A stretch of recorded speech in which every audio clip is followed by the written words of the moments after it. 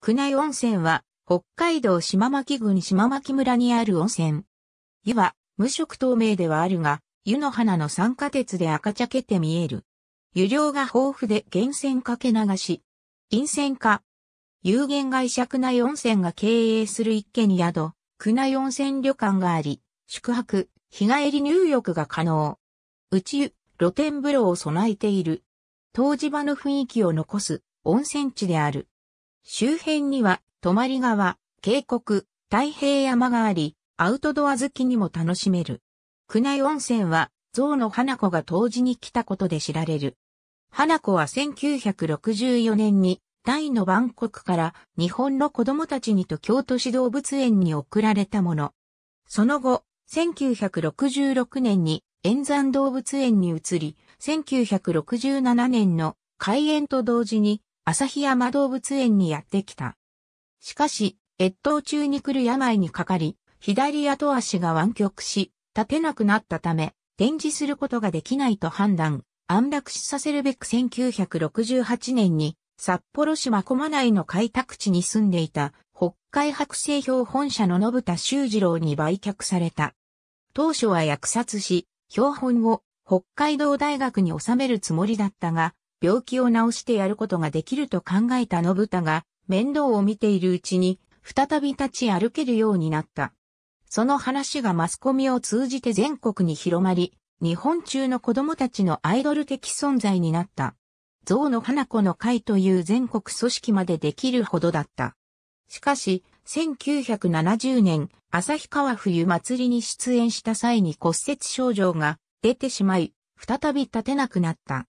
そのため、その年の8月から長万部町の二俣ラジウム、温泉で湯治をすることとなった。しかし、冬期間には閉鎖されるため、11月に宮内温泉に移った。島巻村では村を挙げて、花子を歓迎し、宮内温泉に浴槽付きの花子のお宿という小屋を建てて長期にわたって面倒を見ることとなった。花子は7時から健康診断、10時に食事、16時まで歩く練習をして就寝するという毎日を送っていた。宮内温泉の滞在期間中には象の花子の会の招きで、パラグアイ大使一家、茨城県議会一行が訪れるなど、かなりの人気を誇っていたらしい。関東地区、花子講演会の会長は、当時衆議院議員の三林弥太郎。また、1972年には空前宮内温泉を訪れた笹川良一が花子を見て簡単、日本検証会から述べたが、社会福祉貢献者として表彰された。1975年、花子は宮内温泉を離れ、その後は本州を旅して回ったらしい。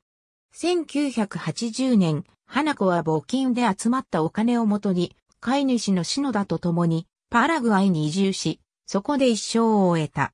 パラグアイでも人気があったらしく、パラグアイ日経ジャーナル創刊号は、花子南米の大地を歩け念願のパラグアイ移住、日本の子供たちの夢と希望を背にしてという記事を表紙で取り上げている。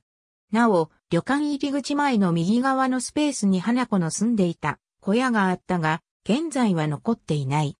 また、宮内温泉で湯治をしている頃までは、信田が花子についての著作を3作発表していた。ありがとうございます。